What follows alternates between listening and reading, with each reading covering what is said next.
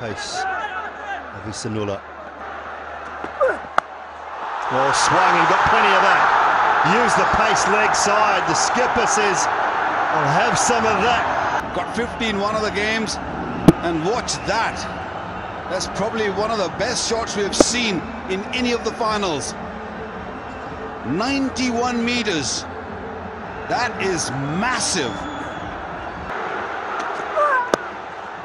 This time over extra for four. He got a good timing on that shot. Again, using the pace.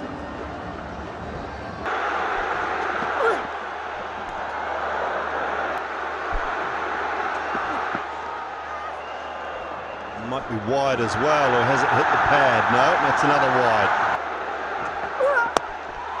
This one's gone down the ground, over, long off. Half a dozen more, Shaheen. Three sixes, one four.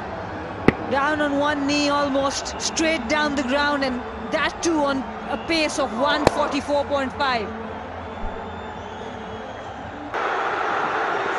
It's a lovely free-flowing swing of the bat, and it's in the head now of Ihsanullah. He was nervous. He was not really putting anything in it. And same goes for Ihsanullah also.